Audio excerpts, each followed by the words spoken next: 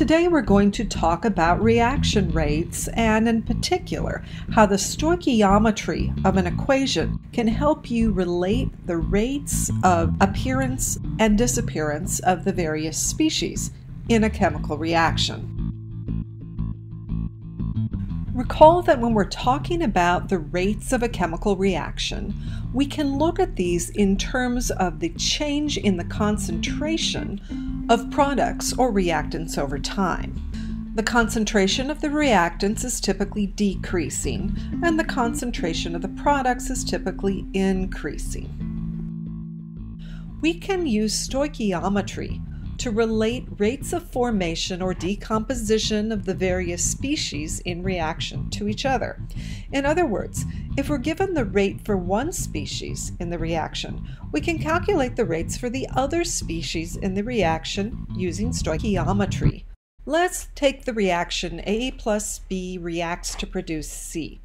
We can get the following three reaction rates. Notice that the first two have a negative sign in front of them because they're being used up. Since rates are positive, we need to correct for this and we put a minus sign in front of them.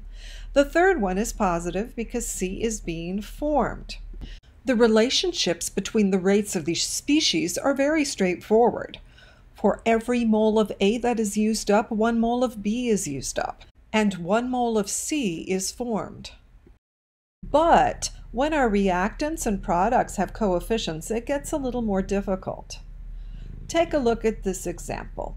We react 1 mole of A with 3 moles of B, and this produces 2 moles of C. We know that B decreases three times as rapidly as A does. We know that C is produced two times more rapidly than A decreases. To relate these to each other, we can divide each change in concentration for a species by its coefficient like this.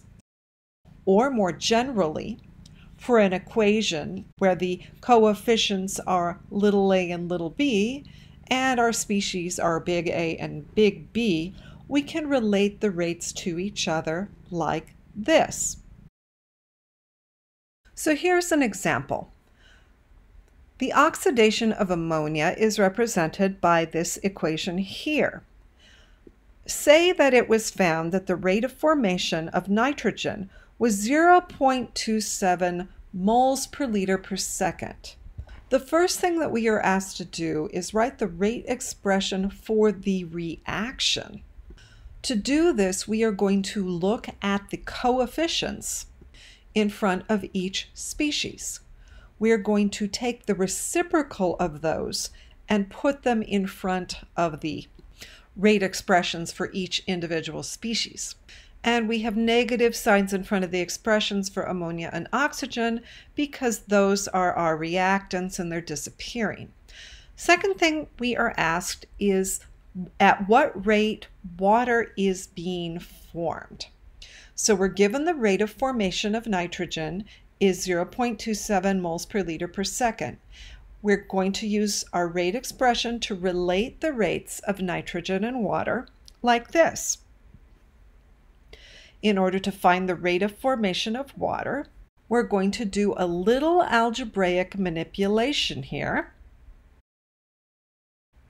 Then we're going to plug in our value 0.27 moles per liter per second and we get 0.81 moles per liter per second.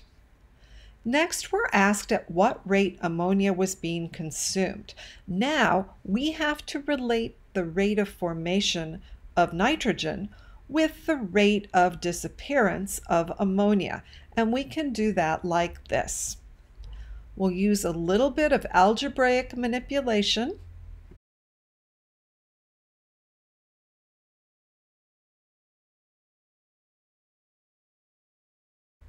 and then we'll plug in our value for the rate of appearance of nitrogen and get out our calculator and we get 0.54 moles per liter per second.